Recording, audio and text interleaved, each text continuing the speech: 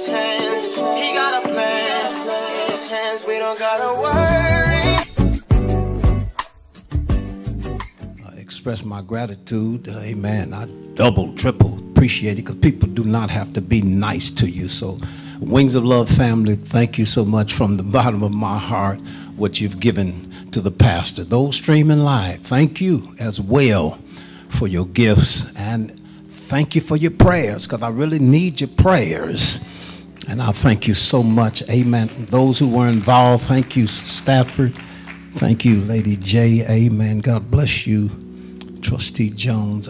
All of God's children. Let me tell you, my brothers and sisters, the best is yet to come. If you can just hold on and hold out, weeping may endure for a night, but your joy is coming in the morning. But I can't wait till the morning. I don't know about you. This joy that I have, the world didn't give it to me, and the world can take it away. The joy of the Lord is my strength. Am I by myself in this sanctuary? Bless you, bless you. Amen. Now I want you to look, bless you, Madison Miracle Baby. I want you to look uh, in, in, in the rear and the back. Amen. I know a lot of people come, you know, it's an eyesore. It's hard for you really to hear me preach. You know, you wonder when this going to be fixed. Kenny was telling me, Kenny, raise your hand in the back that it's still leaking a little bit. You know, there's a leak in this. I mean, it's still leaking in this old building in the back. But what he's going to do, they're going to work on the roof. God has blessed us with a few uh, dollars. Amen. They're going to come to you. Come on, praise God. He blessed us with a few dollars. Amen. I'm tired of looking at it myself, but Kenny told me, he said, uh, they want to work on the roof first, and that I guess that makes good sense to work on the roof first, so, because it continues to leak. So I just want you to know, uh, when Pastor come and asks you for uh, money concerning this, that we are doing something about this eyesore. Amen. I said that so you can listen to me preach now. You don't have to look uh, in the ceiling. Amen. There's a word from the Lord. I'd like to invite your attention. We're praying for all the sick and shed in, Minister Brown and others. I'd like to invite your attention to the New Testament collection of writings, the book of Ephesians, chapter 3, verses 20 and 21. I know Minister Jackson, uh, you said is that the only verse, but uh, I have Sister Brown and Lady J in here, and this is a comma. That's not a period, and I didn't want them to check me after I finished. Amen. That's a pause. Amen. You know, just stop there. Amen. It's a comma. Ephesians chapter 3, verses 20 and 21 in the New Testament. It reads thusly Now unto him that is able to do exceeding abundantly above all that we ask or think, comma, according to the power, power that worketh, worketh in us, comma Watch this. Unto him be glory in the church. I said that. You know how it moves, so I said it like that, you know. In the church, by Christ Jesus, throughout all ages, world without end. Amen. You may be seated. I want to tag the text and talk about somebody ought to do something. Somebody ought to do something. Thank you, my brother musician. Let's say that again. Somebody ought to do something. You know, there's an adage a lot of people say that talk is cheap. Action speaks louder than words. Brother said there are some people who watch things happen. Some people don't know what's happening. Some people don't care what is happening. But then there are other folk who is determined to make things happen. Now let me bring it to our young people. Let me tell you, my brothers and sisters, like Master P said, you have to be about it, about it, about it, about it. Listen, my brothers and sisters, let me tell you, as the church, we ought to wait, Mother Hinton. We ought to watch, but we have to do more, Sister Rogers and Brother Rogers, than just wait and watch. We need to witness and work. Can I preach? Listen, my brothers and sisters, this country is in a mess. There is mayhem everywhere. Brother Lee, Sister Brown. This world, brothers and sisters, is in a state of chaos. And let me take some people back all the way to the temptation. It's like a ball of confusion. Well, come on, you ain't been saved all your life. Listen, if you don't believe me, take a few minutes and watch the news on television. Mm. Just take a, a, a few moments and sit down and read the paper. The political scene has become an expensive three ring circus. You got the Republicans against the Democrats, the Democrats against the Republicans. Let me tell you, it's, it's okay. It's good that you're a Democrat. I ain't going to fight those who are Republicans, but let me tell you, it's all about a theocracy, meaning God's government. There is the rumble of war among Ukraine and Russia, among Israel and the Palestinians somebody ought to do something. When racism continues to rise, its ugly head to raise its ugly head, somebody ought to do something. When almost 40 million Americans live in poverty, somebody ought to do something. When approximately 37 million have no health insurance, somebody ought to do something. I'm trying, Mo Taylor. When children are killing children in unprecedented numbers, somebody ought to do something, do more than just say something. Streets are filled with serious crimes and horrible violence, carjackings, and drive-by shootings have made the American public highly shaky and nervous. Somebody ought to do something.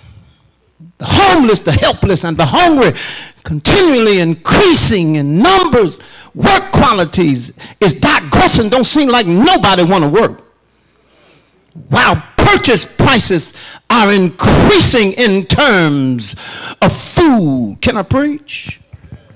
Financial security is no longer a sure thing to rely on because it seems like you can put your money in, a, in the bank and you can have a 401k and how many must admit you've had to go in your savings and some of you have had to go in your retirements to pay your bills.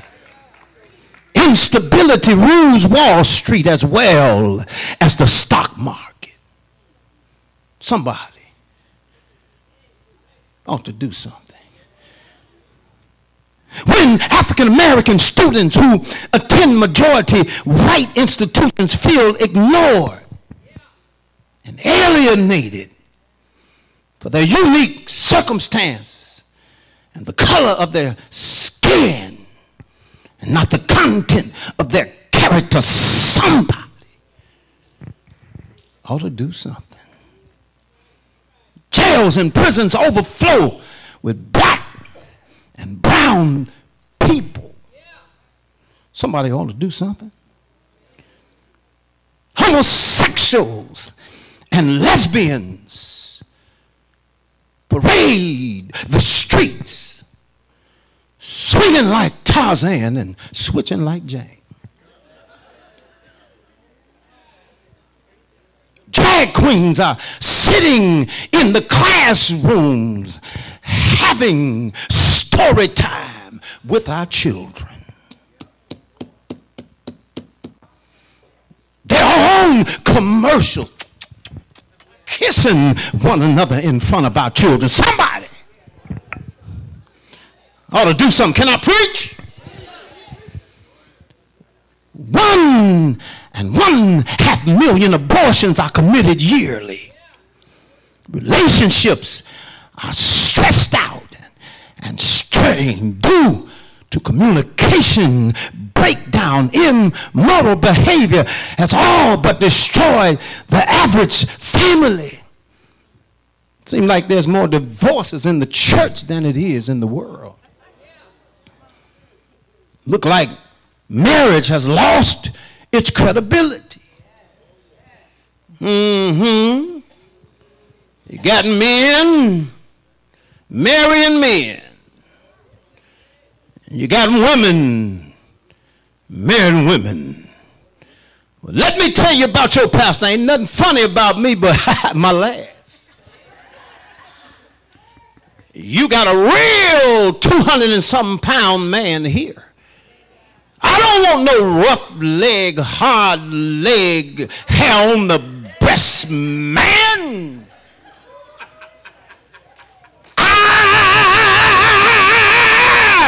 Want a woman. Let me be specific. I want Lady J. In spite of the stiff laws, fentanyl, Papa Molly, Percocet, on the rise. Even some young people have been arrested for selling drugs. Listen, it's killing many of our young people. I'm trying, Sister Kelly. Diseases like cancer have claimed an enormous toll on the population. Somebody ought to say, but before I finish this message, I need everybody who have survived cancer, clap your hands. Authorities seem to be powerless to do anything. Educators seem uh, to be frustrated, Lady J and Sister Brown over the situation. Matter of fact, somebody ought to do something starting with the parents because it seems like everything is controlled by a switch except a child. Light switch. How many of y'all remember when mother used to tell you to pat up those little mm-hmm, limbs? I never understood. I'm gonna be, I'm gonna get a whooping, but you want me to to bring the instrument of my punishment. But can I talk to somebody in here who know parents didn't just say something, they got up and they did something. I'm to whoop your behind when I, they didn't say behind either. And I thank God for the whippings I received because let me tell I wouldn't be up here preaching. It kept me out of jail. It kept me out. I'm, I'm a finish when I got a witness and kept me out of trouble. Thank God for my parents who didn't just say something. Sister Ruffin, they got up and they did something. When they promised that you're going to get a whooping, you got your behind whipped.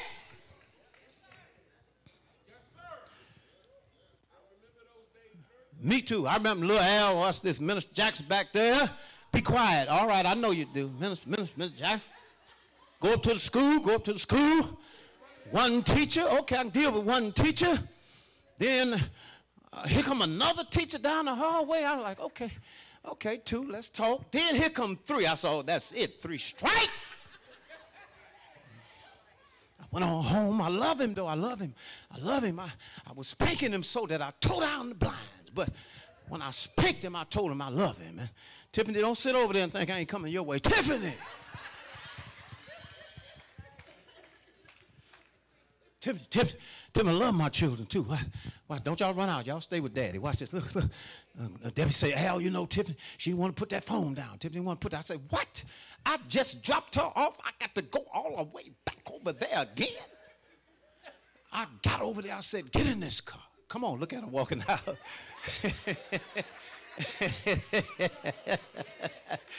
she can't take it, Al. Look. look, I, I told her, I said, I'm going to whoop you when you get home. But, but, she asking all them questions. Uh, uh, you having Bible class? You barely even come to Bible class.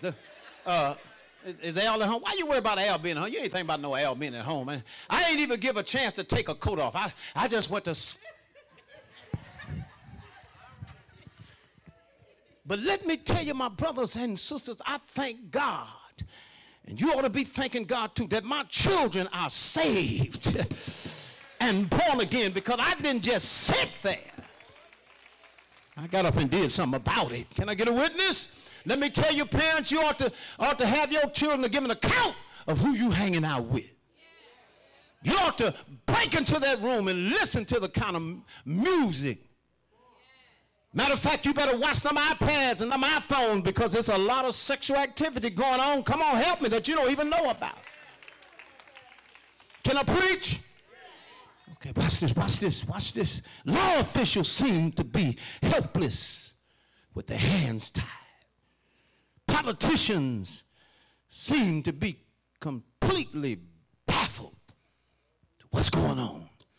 And many, if not most, seem to think that simply nobody must be able to do anything about today's mixed up, messed up world.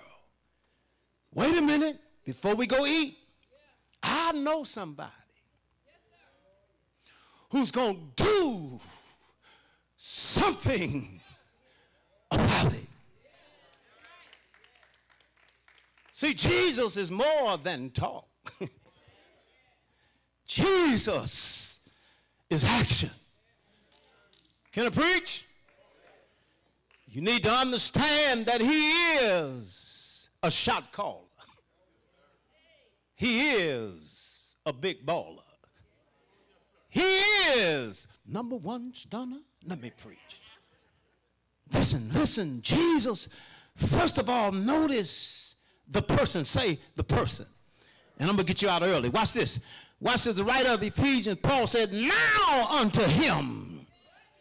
Uh, look at somebody and tell them, It's Jesus.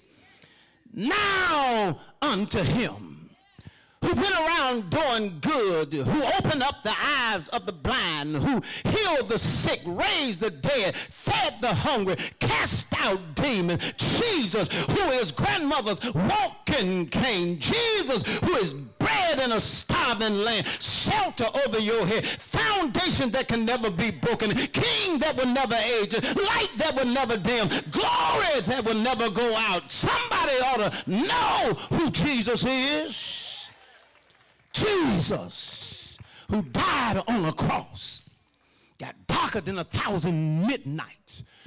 Jesus, who went down in the grave. They don't talk about this no more, Al Brown. Got up early Sunday morning. Not with some power, not with green power, not with white power, not with black power, but he got up with all in his hands. He says, Now unto him that is able to do. I ain't going to get to that yet, Al. I said, Do. Y'all act like the Lord is not still doing anything. I think I believe it's deism who said, deism in theology said that the Lord created this world. And he locked the door, took the key, and threw it away and allowed the world, that's what deism allowed the world to operate on its own.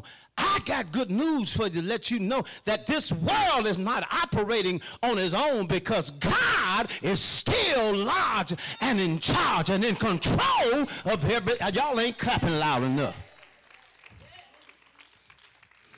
Listen, he says, he is able. Uh, Mm, somebody in here. Uh, wait a minute, not yet. I'm, I'm coming. Wait. Somebody in here. I like that keto. Stay right there. Somebody in here, say, Pastor Joe, know that God is able. Man, I can just preach able. Somebody know about the ableness of God. Some of y'all ain't. Look at somebody chasing you. You may need to encourage them. Tell them you need to know about the ableness of God.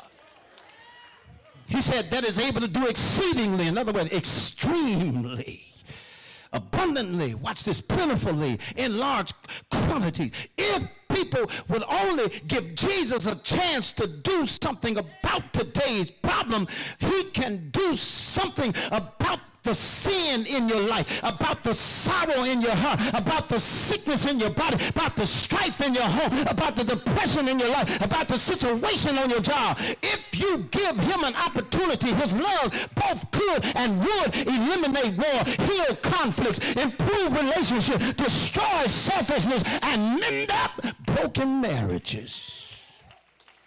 Can I preach? Look at somebody and tell them you need to notice the person. But then, secondly, you need to notice the prayer. He says, above all that we ask, y'all got to get this. Uh, we have not because we, y'all help me preach. Jesus said, if you ask anything in it shall be. Y'all help me preach. Listen, listen, listen. Thank you, my brother. Listen, listen, my brothers and sisters. Watch this.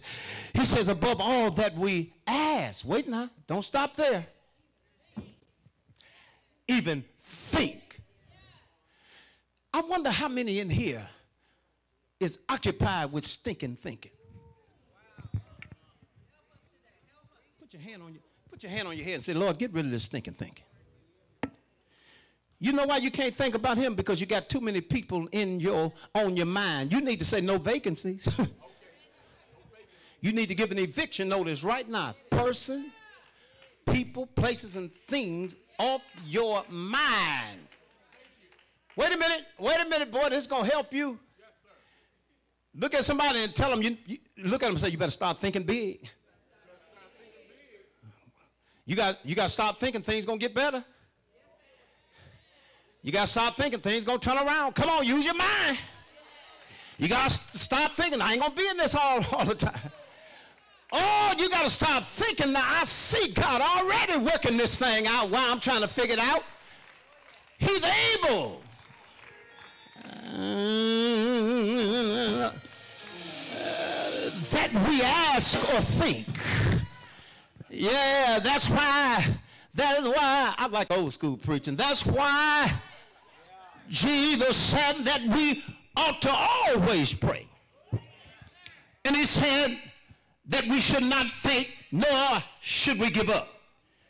But then Second Chronicles 7 and 14 says, if my people, which are called by my name, shall um, humble themselves and pray and seek my face. He said that uh, you should turn from the wicked ways, then I will hear from heaven and will forgive their sin, and then I'll heal their land. We are to be the moral compass church and the agents of change in this world. And I need you to look at someone and tell them uh, that the Lord did not call us to sit uh, when he saved us, but he called us to serve. Uh, do y'all hear what I'm saying? Charles Spurgeon said, True prayer is neither a mere mental exercise performance. Is far deeper than that. It is a spiritual transaction with the creator of heaven and earth. Listen to what the Vern, yes, the great missionary Hudson Taylor said. It is possible to move men through God by prayer alone yeah, yeah. And I know that prayer will change conditions and prayer will change you. Crown said to get nations. We must first get down on our knees praying, however, needs to be pressed and pursued. With an energy that never tires, a persistency which will never be denied,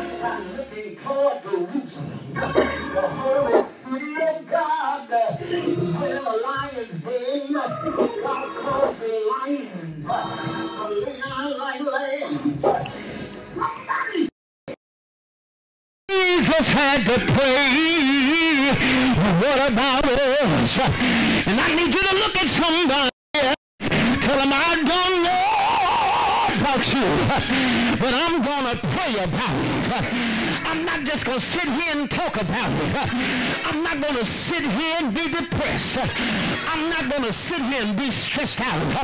I'm not going to worry myself. I'm going to go down down, all down on my bending knees. Anybody know the Lord?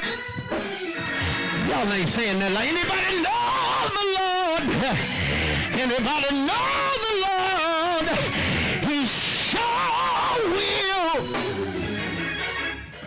answer prayer. I know I ought to have a witness in here.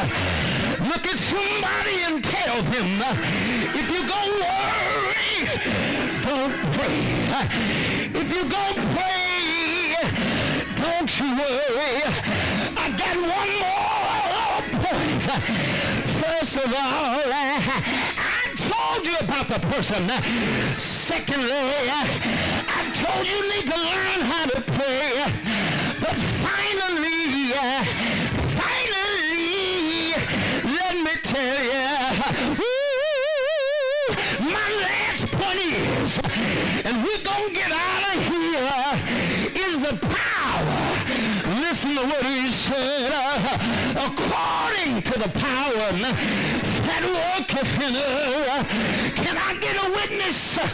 Look at somebody, tell them uh, Jesus Christ uh, living in us, personified in the Holy Spirit is the power that we have. I don't know how you feel about it, but I got power.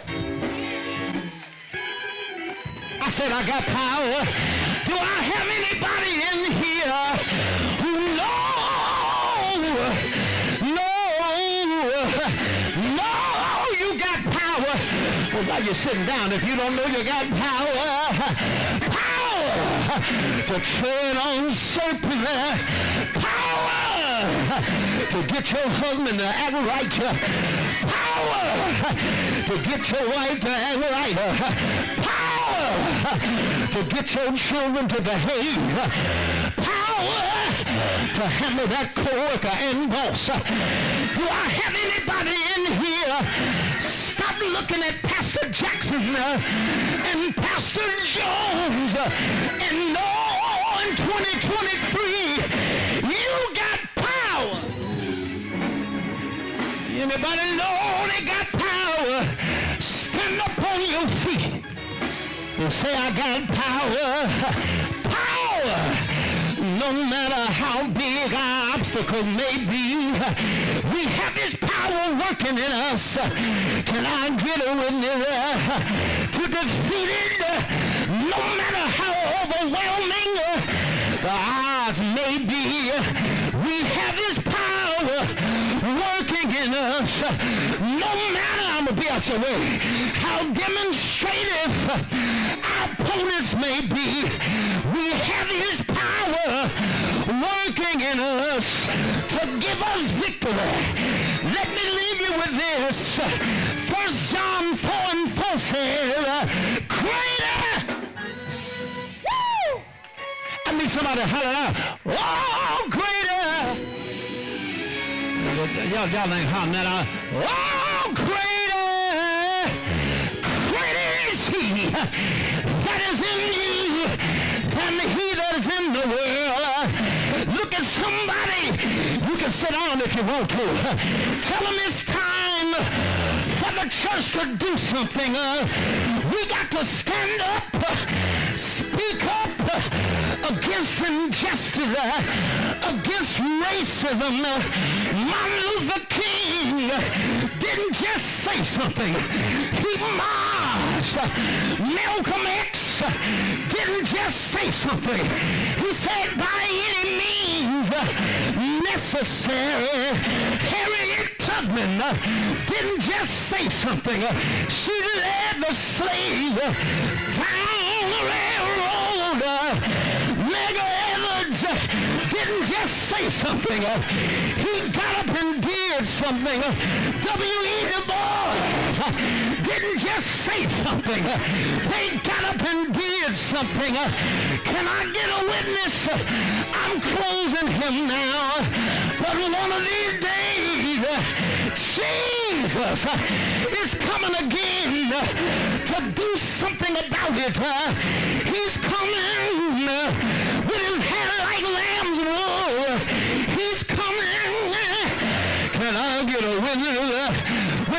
10,000 of his saints. Uh, he's coming. Uh, can I get a witness who know? Who believe he's coming? Uh? I don't know when. I don't know where.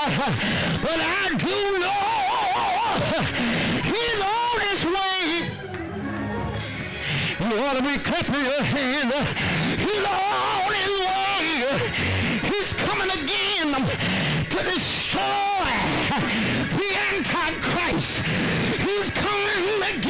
to destroy the false prophet. Uh, he's coming again uh, to lock the devil up in hell. Can I get a witness? Uh, look at somebody. Tell him my hero is on his way back. He's going to do something. Can I get a witness? He's getting ready to bring judgment and wrath on this wicked generation. Uh, I'm calling him now. But when he comes, our agonies will give way to comfort. Uh, our troubles will give way to peace. Our grief will give way to joy. Our hope will give way to reality. Our gloom will give way to glory. When he comes, trials will torment us no more. Sickness will afflict us no more. Adversaries will perplex us no more. Cares of this life will burden us no more. Good afternoon, but let me tell you, Jesus, he will fix it. He will fix it a while. Won't he do it? Won't he do it? Oh, won't he do it? Oh, won't he do it? Clap your hands. Say, he's going to fix it. He's going to fix it. He's going to fix it. He's going to handle it. He's going to take care of it. Won't he do it? Woo! Won't he do it? Bless. Somebody. Oh.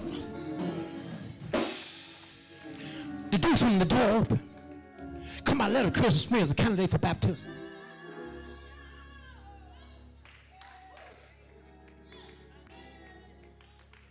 I know you've been hearing about the doctrine of the last days, eschatology. You've been hearing it. I've been hearing it in Sunday school. I've been in church all my life. I've been hearing about the second coming of Jesus. People saying, Where is it? Well, let me tell you something. You better be clapping your hands. Ain't got back yet because you ain't got your life together yet. Look at somebody, tell them some more work got to be done. He doesn't wish that any should perish, but that all come to repentance. But watch this. And we getting out in good time. Don't count his slackness, as some men do because he is coming back again. Watch this. Pam, he's coming for his church. He's coming for a church without a spot or a wrinkle. I don't know about you, brothers and sisters. I see, let me tell you something. I got a little time, I got to get out of here so I can go eat. You can go eat. Do Doors open. I don't know what mealtime Monday, but I'm gonna talk about the spirit of Antichrist. The Antichrist ain't even he's, he may be here somewhere around here, but the spirit is here against God's truth. People believe a lie before they believe the truth. And brothers and sisters, let me tell you some rumors of wars, wars, pestilence, earthquakes. How many have seen all these natural disasters that we can't even explain? It's nearer and sooner than we thought. And I don't know about you, this old bald head bearded preacher want to be rapture, rapture ready. Now you can think you're gonna be down here all your life. I, I, I, I, let me tell you something, and I got to get out your way. Let me tell you why the Lord allows some things to happen to us. We get sick, pain, sorrow, and stuff like. You know why He do that? So you you, you want you'll want to go to heaven. Watch this. I'm finna be real. I'm gonna move from out of these pews. If y'all got a pocket full of money, your your your pocket got the mumps. you got a you got a pocket full of cheddar, full of cash. You got that moolah. You got a nice little whip, car. Got a nice little crib. I mean house. You got designer clothes. I mean, you got everything going good for you. When Jesus come back and you in a situation like that, I tell you, my, you gonna like, Lord, I ain't ready. Not yet. I ain't ready to leave this. So what Lord the Lord does, He put an anticipation in you where you yearn to want to go back with Him. Look at somebody. Look, where, where's Minister Jackson? He just said about the five virgins. I'm gonna leave. This is serious, gang, and I'm gonna leave you alone. You need to have some oil. Oil represent grace and the Holy Spirit. Put your hand on yourself and say, Lord, help me to keep some grace and oil in my lamp. Because you got to go out and meet the bridegroom. He's coming. How many know? How many know you see the signs everywhere? Look at somebody tell them, I see the signs everywhere, boy. It's everywhere. Don't be scared to look at them. Put a mint in your mouth and talk to them. Hallelujah. The door's open. We don't want you to be, we don't want you to miss out. You can repent, turn from your sins. You have heaven to gain and hell to shine. Come on, before Jesus come back. You need to come and join Jesus. All right, praise team, come on. The door's open.